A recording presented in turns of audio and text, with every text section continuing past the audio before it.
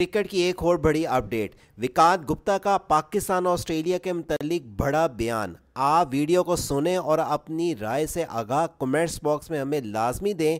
आप क्या कहते हैं, पाकिस्तान इंडिया के मतलब पाकिस्तान मैच जीतेगा या ऑस्ट्रेलिया? इन हम जीतेंगे, लेकिन इंडियन कमेंट्स लाजमी आप देखें कि इंडियन मीडिया पाकिस्तान के मतलब इस टाइम क्या कह रहा है। पाकिस्तान मुझे नहीं लगता, आखिरी चार की टीम, बाकी आप टर्निंग ट्रैक की बात करते हो? जहाँ पे टर्निंग ट्रैक आएगा इनके बैट्समैनों से भी इतने रन नहीं होंगे। अब बाबर वर्ल्ड क्लास हैं। इसमें तो कोई डाउट नहीं है। Babar Azam by the way is a good player ये नहीं बोल रहा हूँ कि बाबर आज़म खराब जो ये पाँच हैं इन पाँच में से ही चार होंगी। टॉप थ्री और टॉप सेवन पाँच में इंडिया है न्यूजीलैंड है साउथ अफ्रीका ऑस्ट्रेलिया और इंग्लैंड मतलब 99.9 परसेंट इन पाँचों में से ही चार टीमें आगे जाएँगी आपको ये दिखेगा।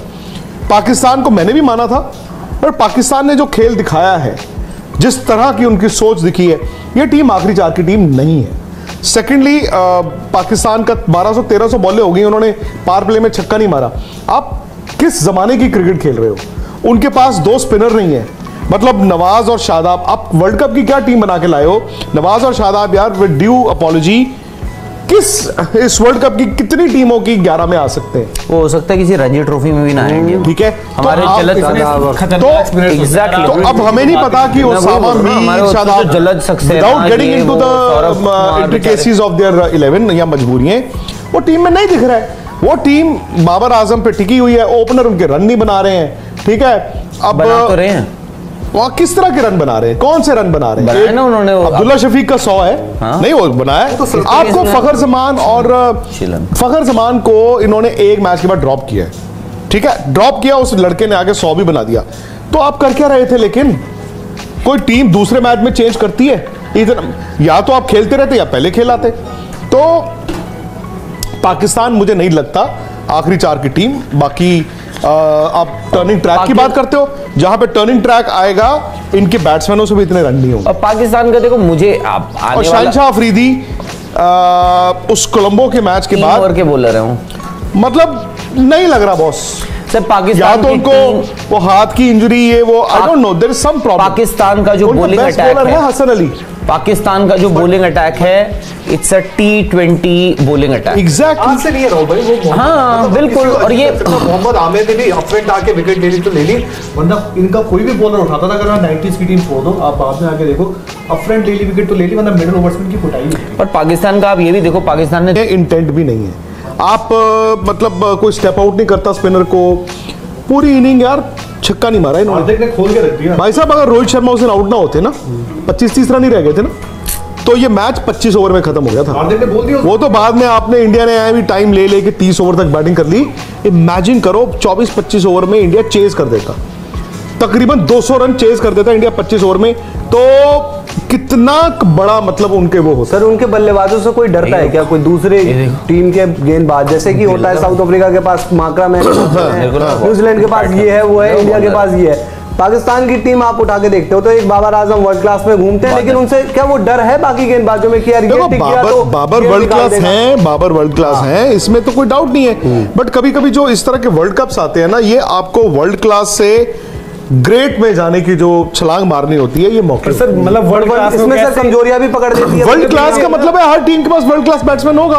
अब कुशल मेंडिस हो कुशल मेंडिस क्या वर्ल्ड क्लास नहीं है? नहीं है। नहीं कुशल मेंडिस क्यों? वनडे क्रिकेट में वो वनडे अभी नहीं है अभी नहीं वर्ल्ड क्लास का मतलब अपनी टीम के लिहाज अपनी टीम के बेस्ट है बाबर आज़म अपनी टीम के बेस्ट है नहीं मैं बाबर आज़म को खैर Kusal Mendis is a wrong example Shakib है वर्ल्ड क्लास अगर आप बोलोगे overall in totality Shakib world class player है। नहीं शाकिब किसी और टीम में तो होते। शायद अगर ऑलराउंडर मैं देखो वही कह रहा हूँ। तो ग्रेड्स में भी जाएँगे। तो वो आपके आएँगे वर्ल्ड क्लास साकिब उल हसन इस वक्त आधी टीमों में एज बॉलर खेलेंगे आधी टीमों में एज बैट्समैन खेल सकते हैं। बाबर आज़म की कमज़ोरी पूरी दुनिया वर्ल्ड कप में पकड़ भी तो लेगी जो हम वर्ल्ड क्लास की बात पता चला उनकी कमज़ोरी ही पकड़ ली यहाँ सब टीमों ने।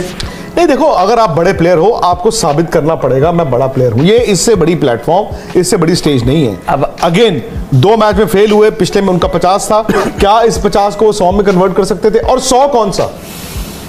100 100 वाला 100 या फिर वो साढ़े तीन सौ बनवाने वाला और मैच जिताने वाला वाला पाकिस्तान 30 ओवर में 155 थी 29 30 ओवर में 155 थी। शुड हैव बीन सवा तीन सौ? आप डबल कर लो with eight wickets in hand. Usually यही होता है ना अगर हम 30 ओवर मार्क में अगर आप 150 या जो भी तो होता है 300 विकेट मानता नहीं। आप डबल कर ले तो उन दोनों की विकेट गिरी और ये भी मानना पड़ेगा। हम तो वही बात कर रहे थे ना इंडिया ने अगर इंडिया उस विकेट पे बैट करता पहले तो इंडिया मारता साढ़े तीन सौ के आसपास। क्यों? वो पाटा विकेट था कुछ नहीं था उस विकेट में। इंडिया की गेंदबाजी है जिसने एक सौ इक्यानवे पे पाकिस्तान को ऑल आउट कर दिया था but hats off to Pakistan.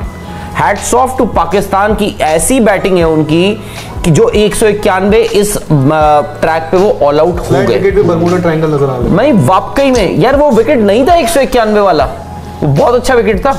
बुबरा मतलब बुबरा कह रहा हार्दिक ने आगे जब बीच में वो बयान हम लोग पता क्या बात कर रहे थे? दोनों जो बैटिंग कर रहे थे ये लग रहा था कुछ थ्रेटनिंग था ही नहीं। करते रहो बैटिंग आप 50 ओवर ही खेल तो क्या कर दोगे? जब इमाम आउट हुए। इमाम जब आउट हुए तो लोगों ने हर जगह लिखा है गलत बंदे को आउट कर दिया।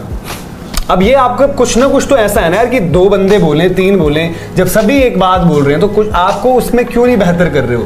वो एवरेज आपको दिख रही है पचास पचपन की मेरी मेरे इतने सौ लगे। और क्या? और क्या आपके प्रेजेंस एक सामने वाली टीम के हार्दिक पंड्या जो एक एक तरीके से वैसे टीम के सिक्स बोलिंग ऑप्शन है बट अब शार्दुल उतना बेहतर नहीं कर रहे तो फिफ्थ बोलिंग ऑप्शन बन चुके हैं। वो कह